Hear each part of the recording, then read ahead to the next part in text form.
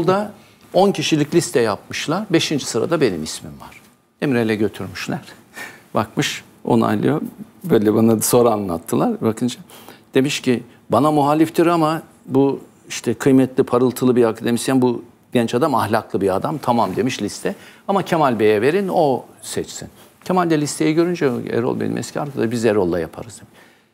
Demokrat Parti dönemi 10 yıllık dış politikasını yazdık. Kitabı teslimi. İşte ben Kıbrıs bölümü falan filan bana o benim üstümdeydi. Dedim ki Sayın Cumhurbaşkanım yasada mahkemesi tutanaklarını istiyorum. Tutanakları gönderdiler. Balmumuz da sökülmüş üstünde izi vardı zaten. Şey ben orada gördüm daha çırılçıplak biçimde kardeşim oradaki davalarda, savunmalarda, onun öncesindeki belgelerde de ABD'ye nasıl tam teslim olunmuş? Tam Nasıl? teslim olunmuş. Her şeyle ekonomik anlamda, siyasal anlamda her şeyleri Amerika'ya teslim. Tamamen teslim olunmuş. Öyle böyle değil yani her şeyle. Ha nasıl kaybettik diyorsanız tam bağımsızlık meselesini böyle kaybedildi. Ha, öte yandan şimdi 27 Mayıs'ın hazırlayıcıları açısından Genç Subaylar Hareketi diyoruz ya. Yani artık herkes biliyor daha önce de konuştuk. İşte bu darbeler, isyanlar falan bu kitabın yazılışı. 200'ün üzerinde ben subayla konuştum o dönemde. Gerçi yaktık o kitabı ayrı bir şey de daha önce öyküsünü anlatmıştım biliyorsunuz. Her neyse. Şimdi onların da rahatsızlıkları işte bu içeride yapılanlar. Ama asıl büyük rahatsızlık tahkikat komisyonunun kurdurulması. Gerçi hemen vazgeçtiler ayrı bir şey. Şimdi nasıl bir şeydi tahkikat komisyonu? Orada 13 üyeden oluşturuyorsun. Herkesi sorgulayabiliyor, malına, mülküne, servetine el koyuyor, hapse attırtıyor falan. Yargılama olmadan doğrudan onların kararıyla bö- Böyle bir şey olabilir miydi? Böyle düşünülebilir miydi böyle bir şey?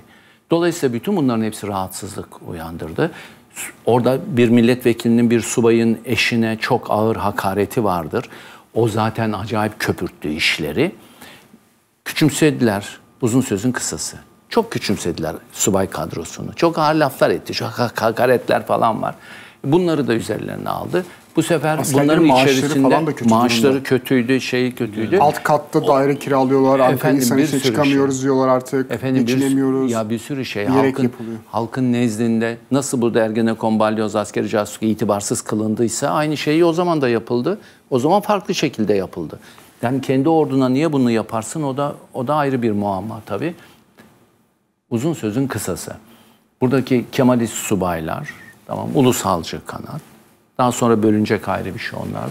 Oturdu işte Alparslan Türkeşler kuşağı. Onlar da ayrı ayrı zaten yapılandılar. Sonuçta bu 20 bu müdahaleye karar verildi. Sonuçta. Şimdi Altemur abinin anlattığı çok önemli bir şey var bana. Eskişehir'de Menderes Es- Eskişehir'de.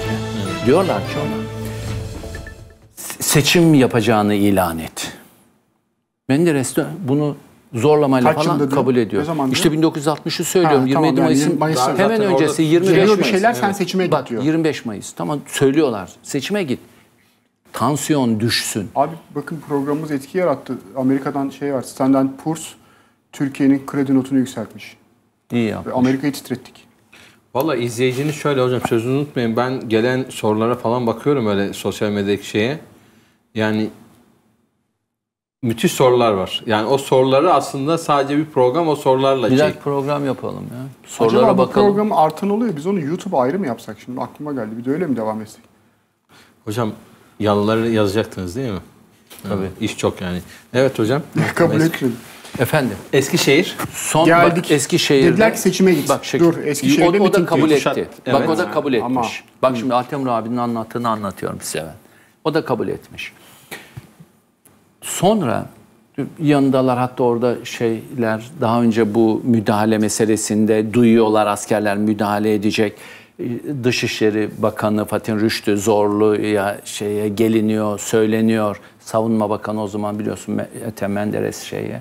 Bak e, diyor ki Dışişleri Bakanı bunları duyunca ordu böyle bir şey yapmasa hatta o R'leri falan söyleyemiyormuş böyle onun kendi lisanından bir de anlattı. Çok güzel taklit ederek. Ama bana şunu söyledi dedi ki Erol Adnan Menderes dedi Eskişehir'de işte o son gün var ya 25'i. Dedi ki orada konuşmasında erken seçim yap- yapacağını adam söyledi. E dedim peki abi söyledi niye hiç kimse duymadı? Medya orada orada burada bir kısmı dedi ayrılmıştı. Fakat dedi sonra bir fark edildi ki hoparlörlere giden kabloları kesmişler. Kesmişler. Bak Hakka yürüdü gitti Altemir Güzel. abi. Yalan söyleyecek hali yok ki Altemir abinin. Bu- Niye yalan söylesin? Bak, özür dilerim. Niçin yalan söylesin adam? Çünkü şeyin yanında hatta anlatıyor işte gittikleri otel motel. Bana çok uzun anlattı. Ben de yazdım onun ağzından zaten bana söylediklerinin bir kısmını. Şimdi bütün bunlar ama sonuçta bu müdahaleye kardeşim karar verilmiş. Ama peki MIT'in haberi var mı? Anlatılana göre var. Başbakan'a Samet Kuşçu gitmiş söylemiş mi? Adamlar söylemiş. Amerikan şey büyükelçiliği uyarmış mı? Uyarmış. Ve hatta onun belgeleyemem onu ama bana anlatılanları anlatıyorum ben sizle. Onu paylaşıyorum. Hatta buradaki Sovyetler Birliği'nin büyükelçisi de söylemiş. Ya da büyükelçilikten birileri her neyse.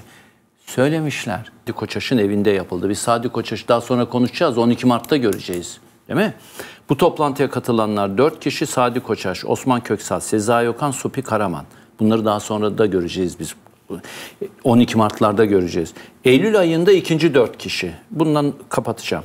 İkinci 4 kişi Alparslan Türkeş, Orhan Kabibay, Mustafa Kaplan ve Rıfat Baykal. Bunlar merkez komiteye giriyor. Ocak 1960'ta merkez komite 12 kişi oluyor. Havacılardan da Mucip Ataklı devreye sokuldu. Bizim Can Ataklı'nın büyük amcası diye biliyorum. Doğru yani Peki amcasıdır. hocam şimdi 60'ı darbe yani bu ABD'ye geliyoruz şey ama bir söyleyeceğim Gel size. gel ama lütfen. Tamam yok. hayır dur. bir şey Ee, unutuyoruz.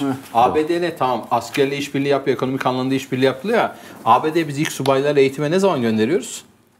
Esas kırılmalardan biri de o. ortası tabii tabii. Kırılmalardan biri de o. 1950'nin Çünkü ortası gönderdiklerimizi biz sonra 60'larda Yani biz askeri, Biz 27 Mayıs'ta göreceğiz askerin onları. içerisine e, Amerikan şeylerini sokuyoruz mu diyorsun? Tabii biz canım. eğitime gönderiyoruz. tamam. Sonra ABD'ye onlar dönüp e, Amerika ile işbirliğini askerde de başlıyor yani. Tabii başlıyor ama biz sonra o figürlerin birçoğunu De, 27 darbelerde rolde Mayıs'ta, görüyoruz. 71'de, Tamam. 80 Türk Zaten siyasetinde biraz göreceğiz. soracağım Hepsini oydu. Yani Amerika Hepsini hala göreceğiz. sonuçta artık biz bağımsız bir ülke değiliz ve Amerika darbeye yönlendirebilecek kadar güçlü her şeyin içinde. Ekonomide efendim. de orada, Evet, askerde de var, öyle. siyasette de var. Evet. 60'ta böyle. Tamam 27 Mayıs'ın başında yok. Bak 12 Mart'ta var ABD.